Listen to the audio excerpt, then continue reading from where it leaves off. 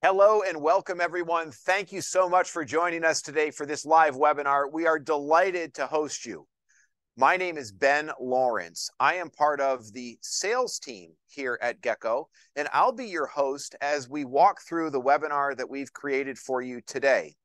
Now, a little later on, joining us is going to be one of our Gecko colleagues, Chase David.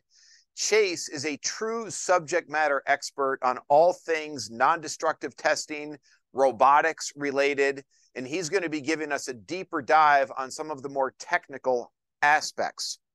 The purpose of today's webinar is to familiarize you with a new technology enabled approach to optimizing tank farms in the industrial world. The format that we're going to be following is a presentation that lasts roughly 30 minutes. So this is a 30 minute presentation followed by 15 minutes that we'll set aside at the end to answer any questions that you submit during today's webinar. So it's 45 minutes in total. Now, if you have any questions or comments, please submit them via the chat function in the webinar interface.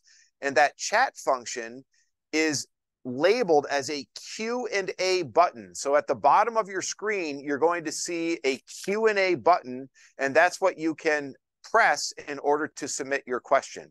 All right, so with that, let's jump right into today's webinar.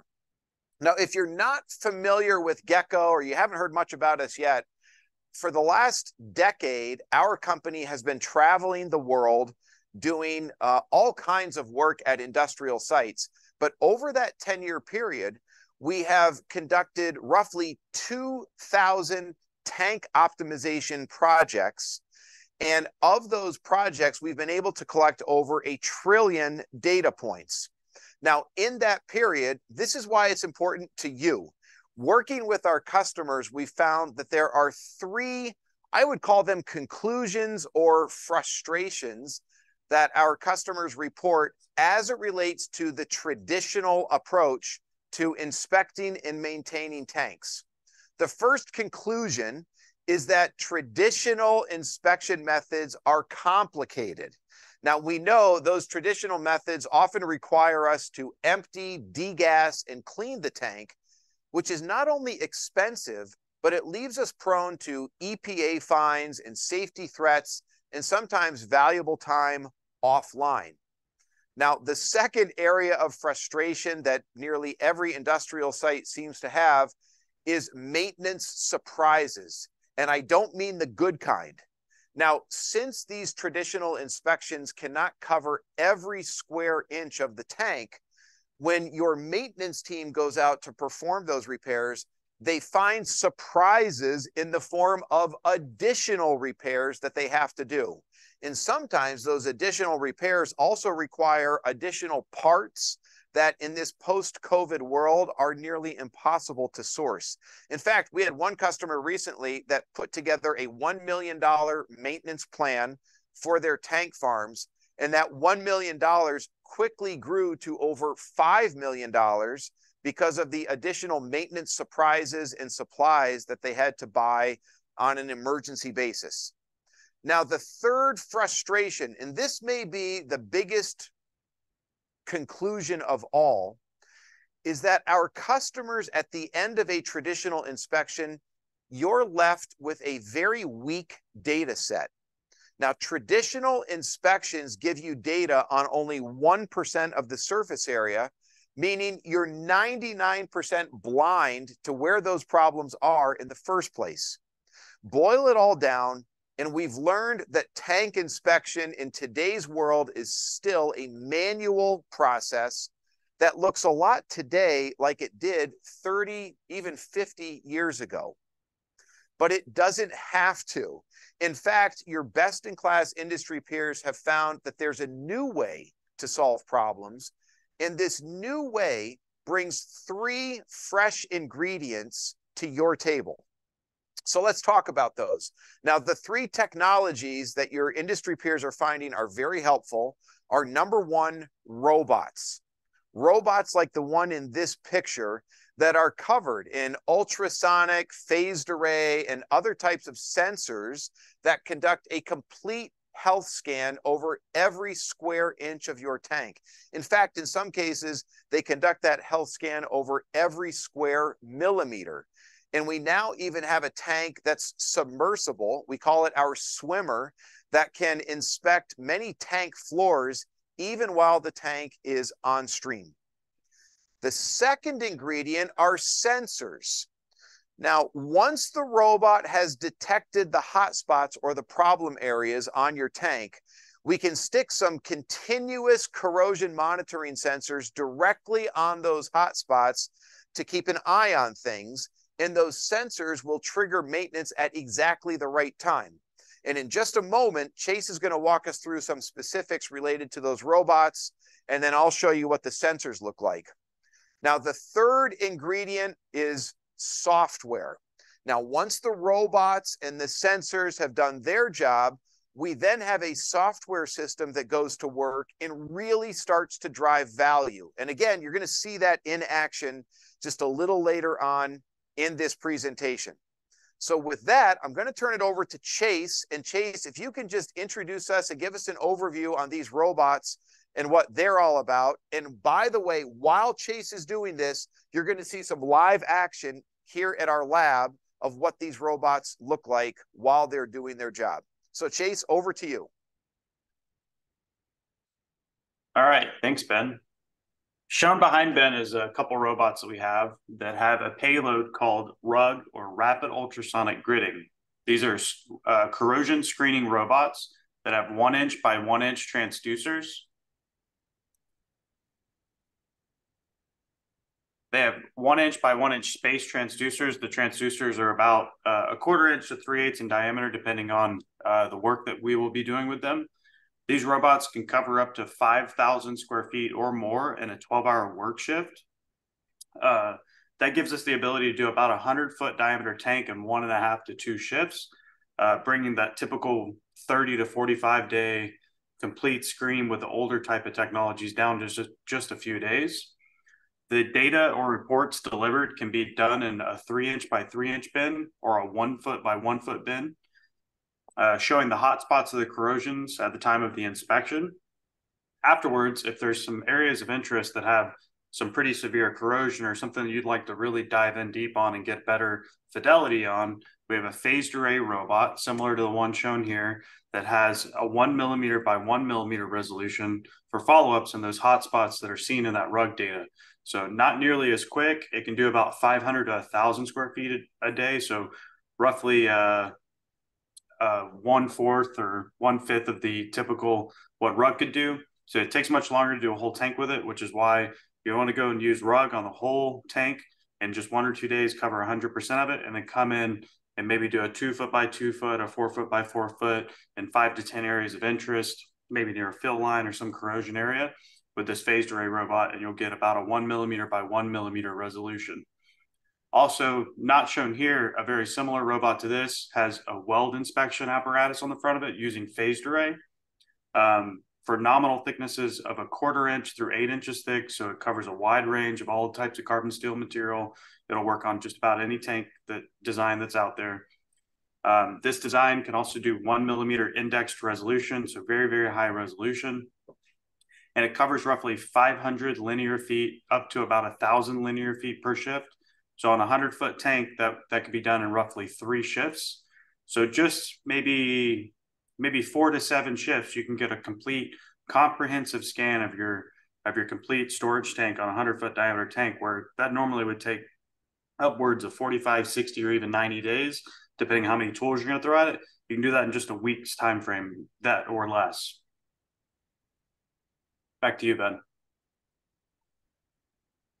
Thank you for that overview. And by the way, I don't know if you could see that while Chase was going through his demo, but we also have a robot pilot who's been driving this the whole time. So if you say hello to Alexei over to my right, uh, Alexei is one of our certified robot operators.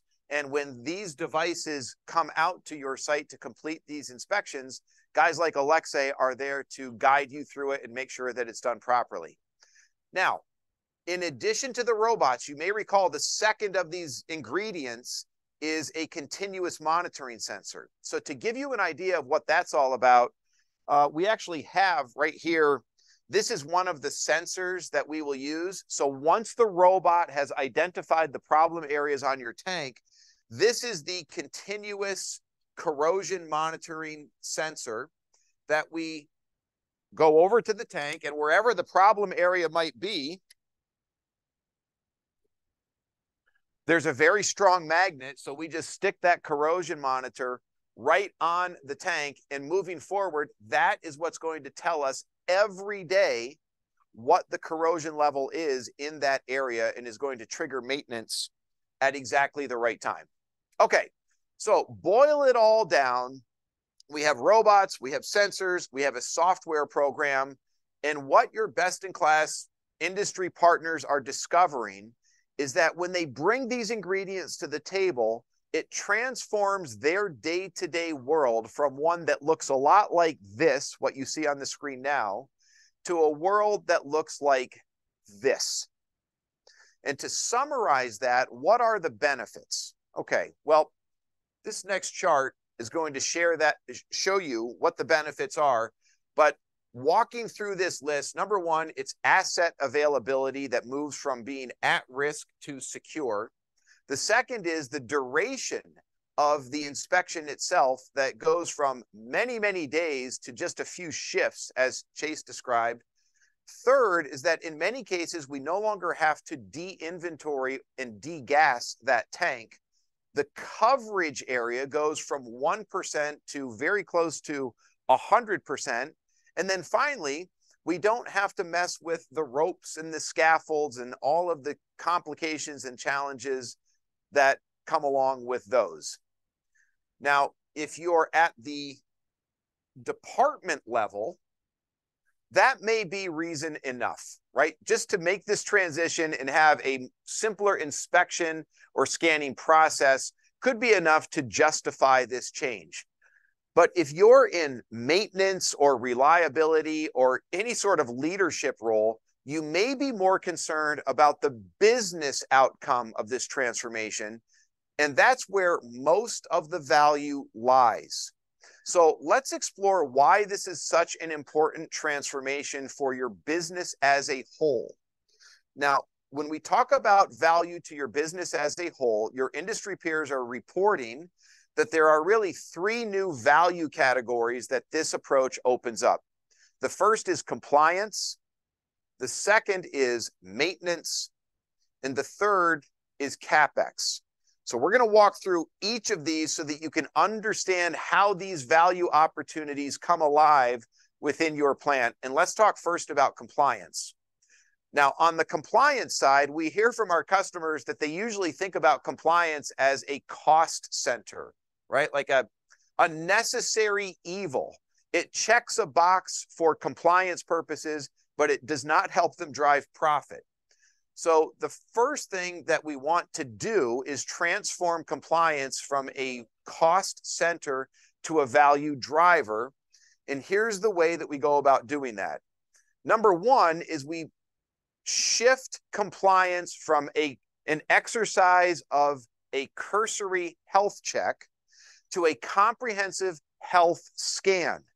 Now, I like to think of the difference between these of the difference between you and I as normal humans going to our local doctor and getting a health check that's really just our doctor putting a stethoscope to our heart versus imagine the type of health scan that a top athlete is going to receive at the NFL combine.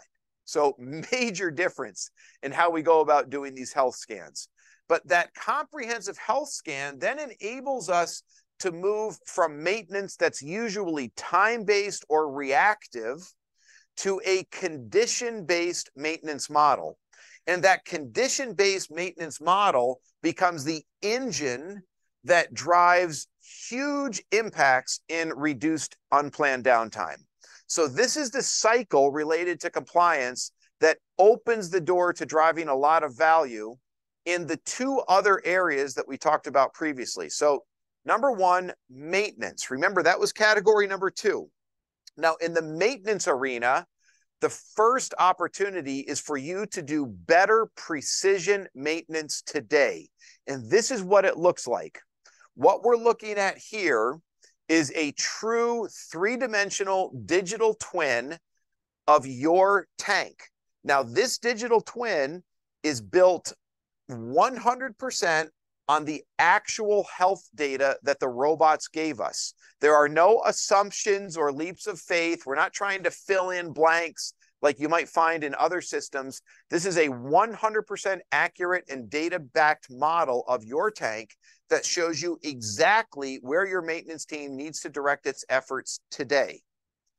Now, the second area within the maintenance category that you can see a lot of value is using predictive analytics for future maintenance planning.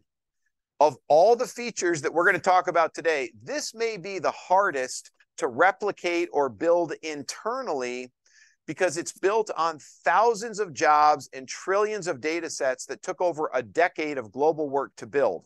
But at the end of the day, the value to you is that you have a model that's going to show you not only where maintenance is today, but where corrosion is most likely to occur one year, three year, five years, even 20 years out. So think about the next time you're going into a turnaround. And if it's two or three years to that turnaround, you can start planning today with precision what kind of maintenance you're, you should expect at the time of that turnaround. Now, the third area within the maintenance value category where our customers are reporting a lot of value is for the first time ever building a stack rank prioritization of exactly what maintenance your team should do and the order in which they do it. Now, this stack rank prioritization is built on two different inputs. Input number one is the health data that our system was able to derive for you. The second is your criticality list. So, based on asset criticality across the entire tank farm, which tanks are really most important to your process? When we blend health data and asset criticality into one chart, it allows your maintenance team to do maintenance in a much more precise and uh, formative way than they have in the past. All right, so we've talked about compliance as a value category.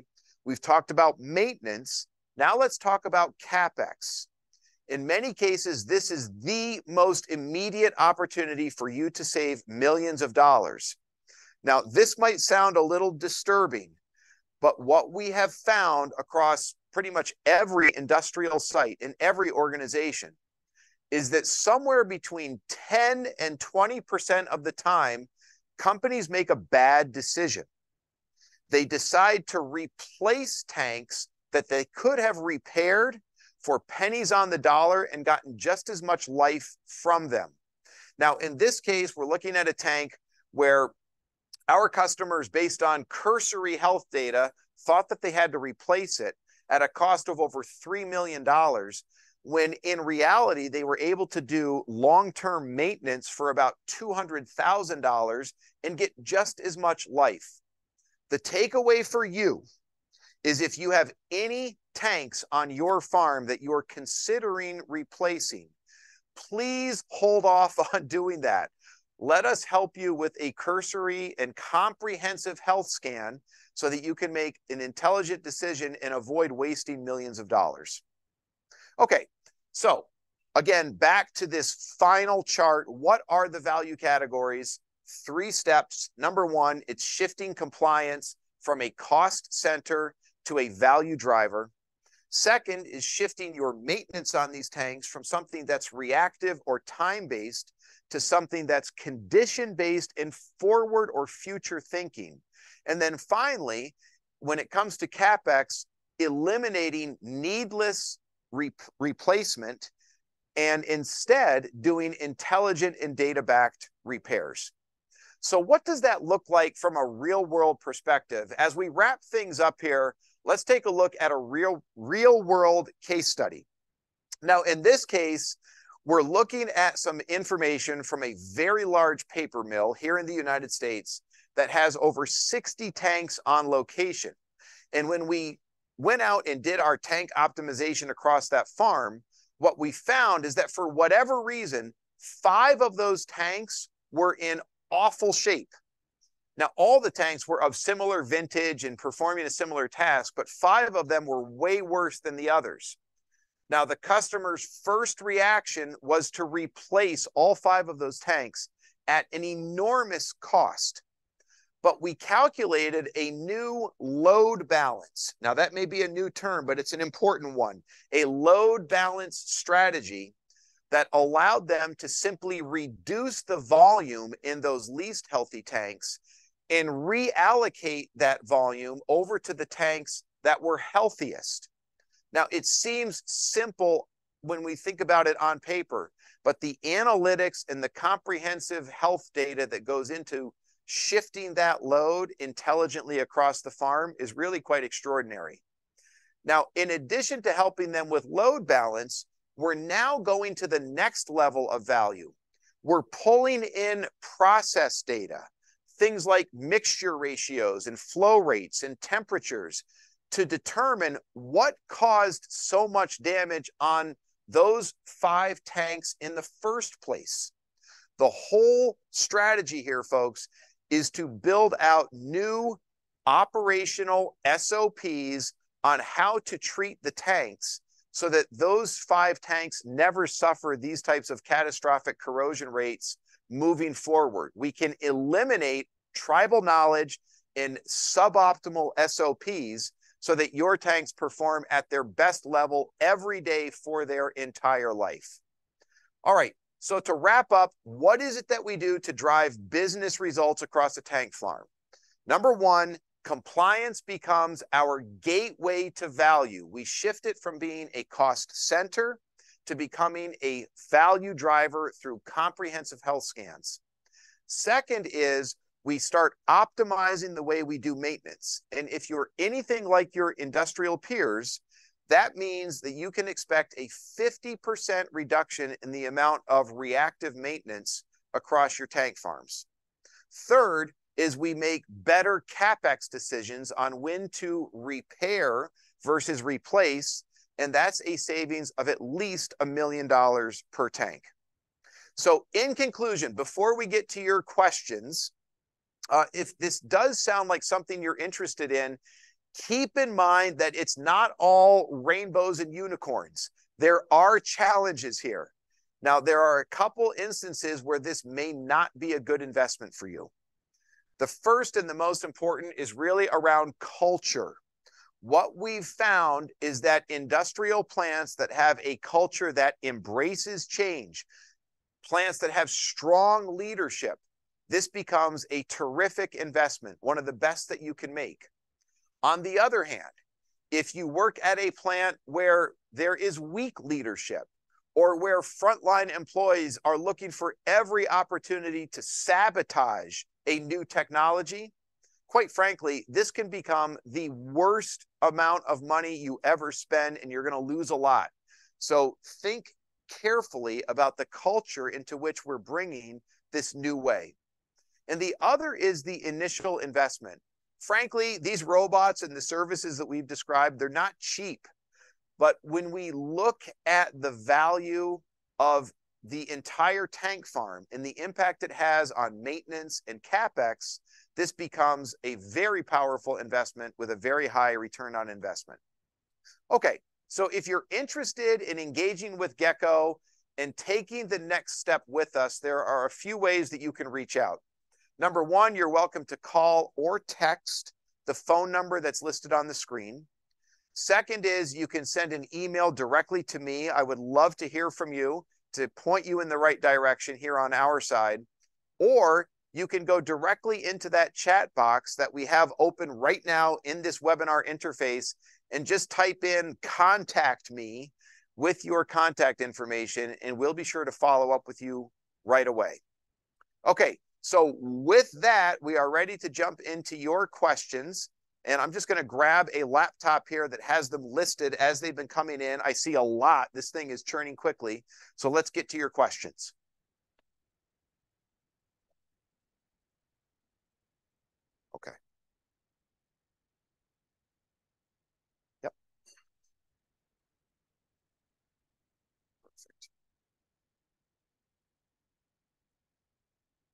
All right, here we are. Is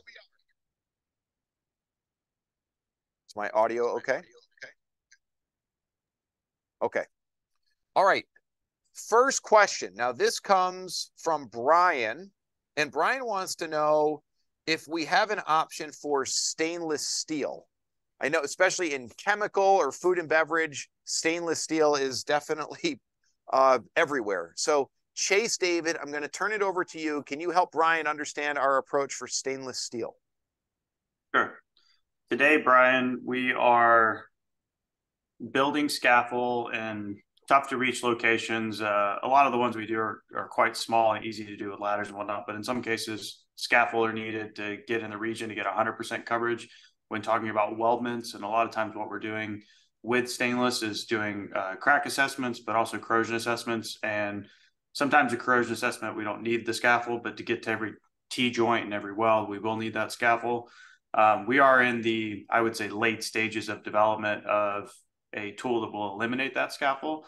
Um, so reach out to Ben and, and maybe we could uh, talk further with you about that. Good. Thanks for that question, Brian. Okay, moving to Mike T. Mike T asks, what's the surface temperature limit? Uh, Chase, if you can speak to that for the robots, then I can speak to it for the sensors. Sure. Um, for the robots, the like the one behind Ben there, it's going to be about 300 degrees or below. Uh, there's many different robots that we have that operate somewhere between 150 as their maximum and then up to about 300 as their maximum. And then the phased array robots for weld inspection and corrosion assessments with the higher resolution, but a little bit slower than the rug robot, um, up to 400 degrees F. Okay, good. And for the sensors, these guys, uh, the surface temperature limit on those is about 950 degrees Fahrenheit. So thanks for your questions on temperature limitations. Okay, uh, another question that comes in from Tom is what obstacles can the robots navigate? For example, can it transition from a shell to a conical bottom section? Chase, take it away. Sure. Um, we've made many transitions. I think every one of them is unique. So uh, getting some pictures of the the area of interest, where the transition is, and then getting uh, fabrication or as built drawings would be very helpful to make sure that we can.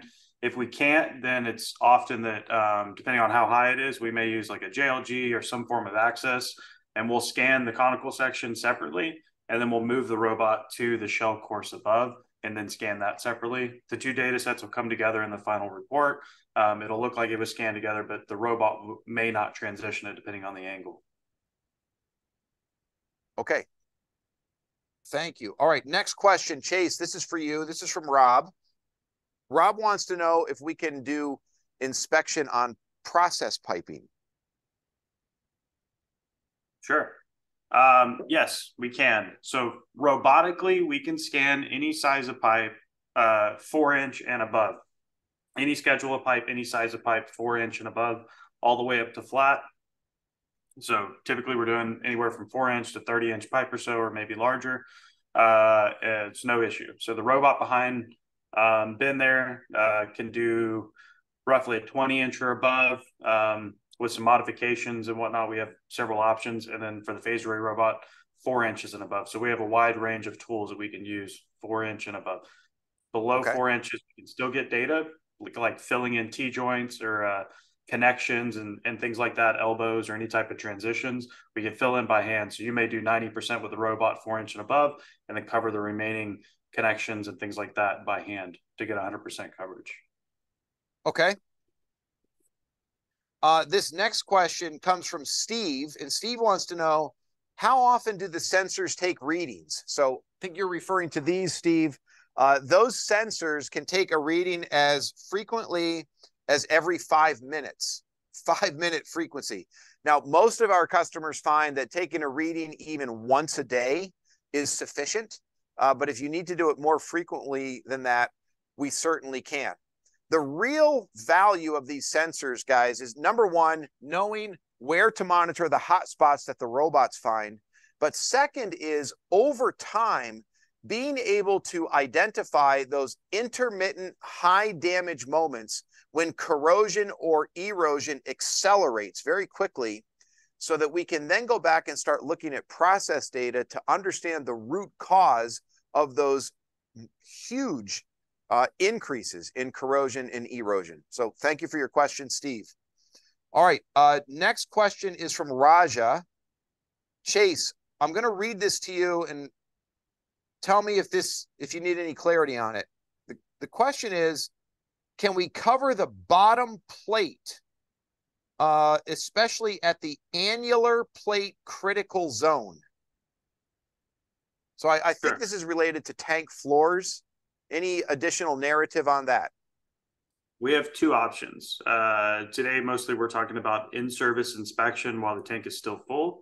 We have an option for that. And then when the tank is empty, we also have an option um, for that as well. So uh, reach out to Ben and I can I can get you uh, some deep te- technical details on each of those options. But to say uh, more or less in service, we have a swimmer robot uh, that has a phased array probe uh, this unit uh, deploys phased array. It's roughly a 12 inch uh, probe and it can cover that annular ring about a half inch or so at the edge of the plate, all the way around 360 degrees. Um, and then we also have another robot that could do it out of service as well. Okay. Good. Thank you, Chase, for that additional insight. Now, here's a question we hear all the time. This one is uh, if the tank, if a carbon steel tank has an external coating, how thick can the coating be and the magnets still adhere? Uh, fairly thick. Um, we do some work in some industries that have coatings that are uh, approaching one inch thick of heavy grit epoxy, and it's no issue provided that the substrate they're attached to is, uh, you know, more than a few millimeter thick steel, uh, carbon steel. So no issue. And as far as getting ultrasonics through those, um, if they're in the form uh, like most coatings are an epoxy base, um, then it's no issue. We can see through it with the ultrasonics as well. Okay. Thank you, Chase. Uh, now, this question comes from Ahmad. And I know you spoke a little bit to this before, but Chase, can you please tell us a little bit more about scanning a tank floor in service, limitations related to process or temperature or what type of fluid is in the tank? Sure. Um, so the robot crew, uh, Gecko and, and the, the on-site owner would have to work together with operations to eliminate uh, process flow or eliminate it to a certain CFM inside the unit um, we uh, the robot needs to have a pretty static environment to float and maneuver inside of the tank. It can work within water, diesel, fuel oil, and other high flash point fluids. Um, and then with the side deployment uh, tool that it's around the corner, we're very uh, close to uh, qualifi- qualification stages of it. Uh, gasoline and other uh, finished products are now an option here in the near future. Um, but more or less, we need to remove uh, flow from the from the the inside of the tank, make it more static, and the robot will perform just fine. Beautiful. Okay, thank you for that. Uh, the next question, Dinesh asks, "Are there any dead zones?" So, as far as dead zones, uh, I guess what I would offer Dinesh is that first of all, if there's a nozzle or something protruding out from the tank and the robot cannot make the transition to it, then obviously that's an area where the robot alone is not going to be enough. And there are also limitations to the types of surface area surfaces to which the robot can adhere, as Chase described earlier, right? And we're in development to help with that. But just reach out to us directly, Dinesh, and we can get more into detail on that. All right. Uh, Paul asks a question. Now, this is back to the sensors. He says, What is the accuracy of this, of the cor- continuous corrosion monitoring sensor? Uh, the accuracy is one one thousandth of an inch or one mil, if you want to think of it that way. 0.001 inches is as accurate as it can be. So highly accurate readings that are coming off this thing. And Paul also asked as a follow up, how do we install these sensors? How long does it take? And what about piping? So when it comes to installation, if you're just putting it on a tank, if we, especially if we do it immediately following the health scan, which is what most of our customers are doing now, five to 15 minutes, and that sensor is installed. And if you want to put it on a pipe or any sort of process piping, there are bands that will wrap around the pipe and adhere the sensor to it. Again, very simple and it doesn't take much time at all. Okay. Um, Chase, there's a few other questions that have come in in the time we have. I'm not sure we're going to be able to get to all of them. Here's one. This comes from Rachel. And the question is, can you give me more specifics on weld inspection? How do you do weld inspection?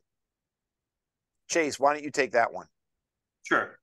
Uh, the weld inspection that we typically deploy is very similar uh, to the the industry standard that's been around roughly 20 years as phase has been working its way to usurp uh, radiography inspections.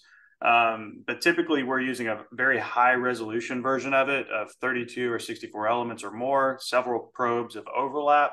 And depending on the inspection type, uh, crack inspection type of uh, uh, inspection, we are going to be using uh, very, very highly focused uh, probes. Um, and the, the overall procedure is, is very geared towards doing in service damage mechanisms typically. Um, I think I said earlier, but this will work for nominal thicknesses of a quarter inch through eight inch carbon steel material. Um, and then four inch diameter and above up to flat, something similar to a storage tank. Um, and then on the robot, it's covering roughly 500 linear feet to 1,000 linear feet per day, which is roughly oh 10 to 20 times more than if you were to use it by hand. So it's fairly fast. Okay.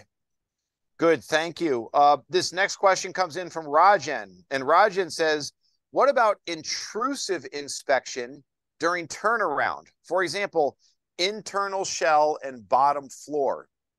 So, Chase, can you talk a little bit about how we conduct inspection from the inside? Sure.